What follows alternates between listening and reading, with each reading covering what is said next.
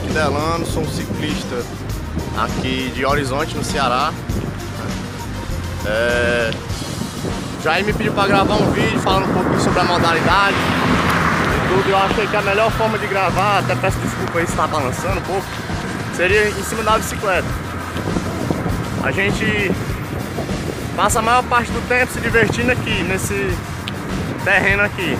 Ou aqui ou na trilha, na lama, né? Assim, pessoal, é, eu queria falar pra vocês bem rápido que você acha que não pode pedalar porque a sua bicicleta é mais simples do que as outras ou porque você acha que não, não vai aguentar, comece. Tudo é começo, certo? Tudo é um começo, tudo tem uma.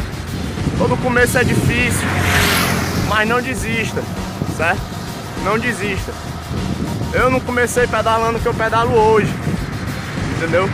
Os maiores atletas do Brasil, apesar deles terem um talento nato, eles não começaram pedalando o que eles pedalam hoje.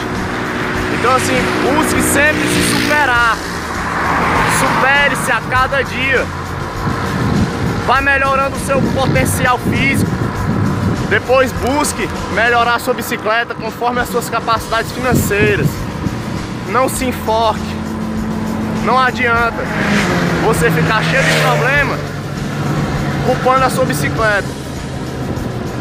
Treine, pedale dentro da, sua, dentro da sua rotina, faça o possível, mas não pare. O importante é pedalar. Faça o que der para você fazer durante a semana. Eu sou policial militar e busco sempre pedalar e treinar musculação do jeito que eu posso. Eu treino musculação, pedalo, corro, então assim, se o cara for dizer que não dá pra pedalar porque falta tempo, na verdade falta organização do tempo. Gerencie melhor a sua vida. Você vai viver mais plenamente, você vai viver.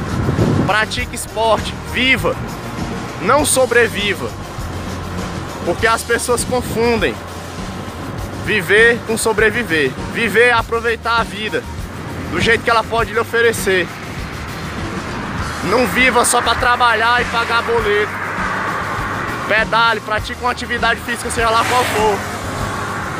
E pessoal, só para terminar, se você não pedala, se você não gosta de bicicleta, tudo bem, eu respeito isso. Pratique, a, pratique outra modalidade. Mas por favor, respeite a gente, certo? Respeite o ciclista. Respeite o espaço dele, não ande na contramão, não tire fino do ciclista. É só isso que eu peço. Educação e paz no trânsito. Valeu, obrigado. We'll be right back.